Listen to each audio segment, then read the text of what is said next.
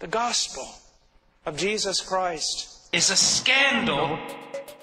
The gospel of Jesus Christ. For I am not ashamed of the gospel.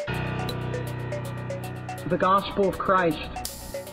The gospel is a scandal. Is a scandal. I am not ashamed of the gospel because it is the power of God for the salvation of everyone who believes. First for the Jew, then for the Gentile. For in the gospel, a righteousness from God is revealed, a righteousness that is by faith from first to last. Just as it is written, the righteous will live by faith. The gospel of Jesus Christ. The gospel of Christ. And our gospel has power not because it is acceptable to carnal men. Our gospel has power because it is a scandal, it's a scandal to men. In the beginning, God. Creation is fundamental to the gospel. gospel. For all of human accountability, all of human responsibility before God is grounded, in the first instance, on creation. God made everything. He made us, and we owe Him.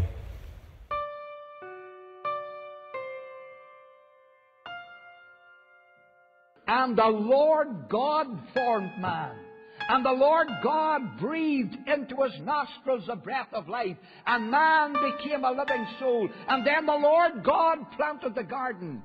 And when Adam fell in the garden, he plunged all mankind into sin.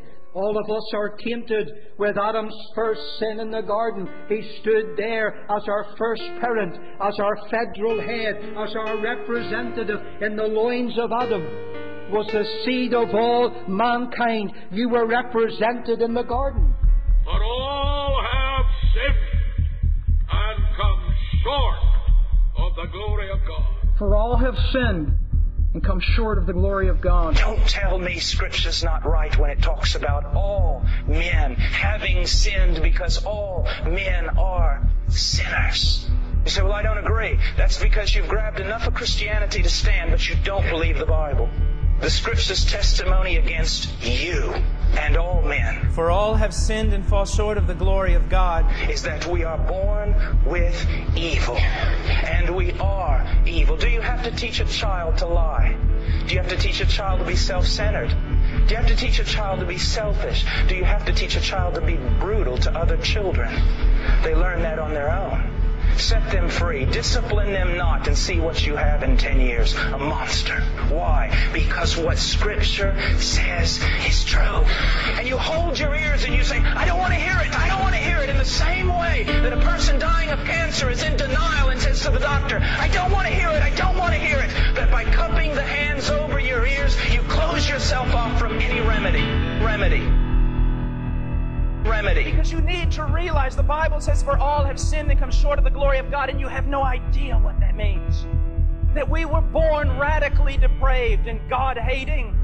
That we would have never sought God, never come to God. We have rebelled against God, broken every law. It's not just an issue that you have sinned. The issue is you've never done anything but sin. The Bible says in the prophets that even our greatest works are like filthy rags before God. And because of that, you know what we deserve? The wrath of God.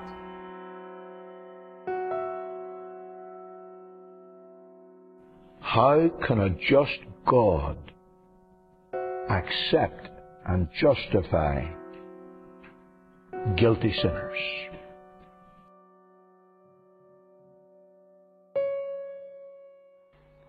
There's always a payday for sin. Someone had to pay that price. Someone had to die.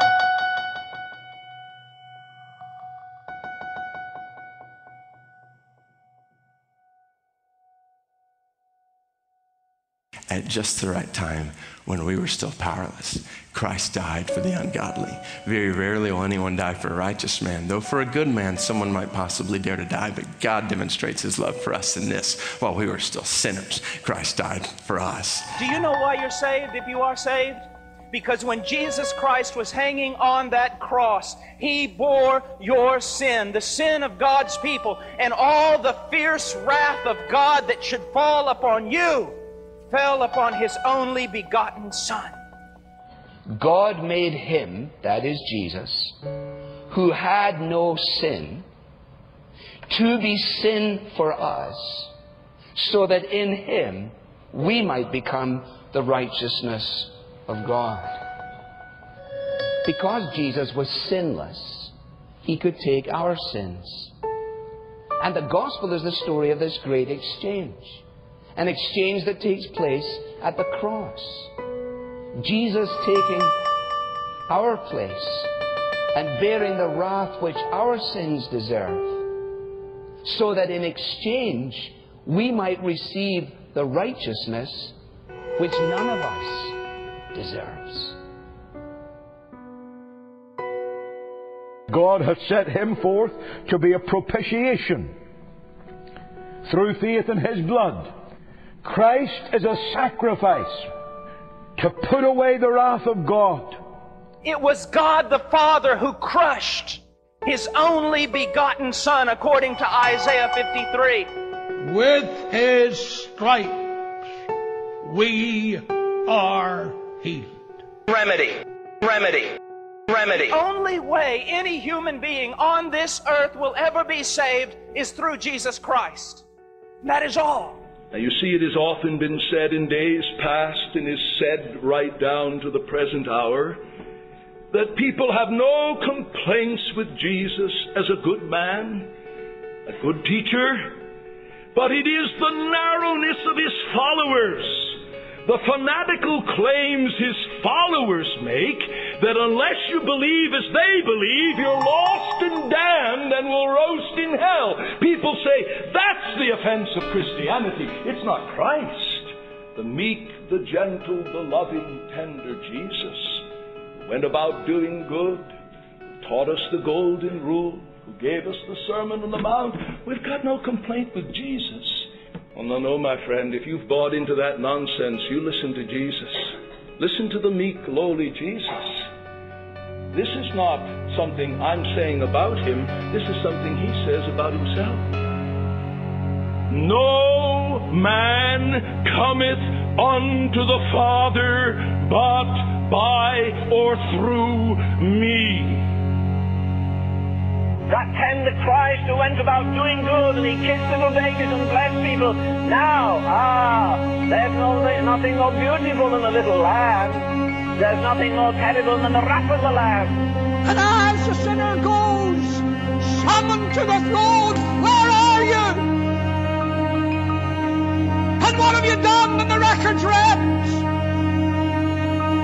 Every last sin will arise in condemnation and cry out, guilty, guilty, guilty, guilty.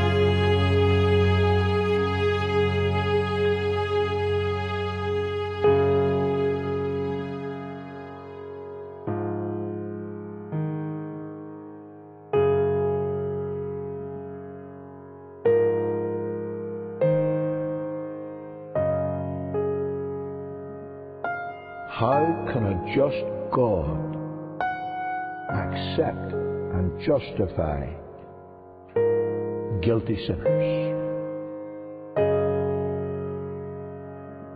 There's always a payday for sin.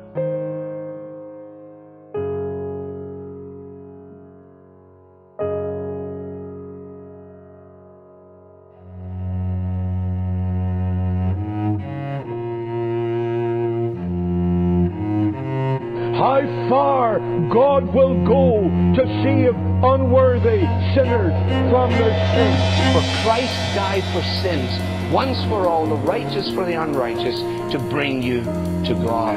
Saving faith is the desperate thrust of a helpless soul upon the arms of an almighty Savior. Can God forgive every sin I've ever committed? I said he sure can. That is, if you repent of your sin and you plead for the blood of Christ and you ask for mercy. Repentance toward God and faith in our Lord Jesus Christ. faith in Christ.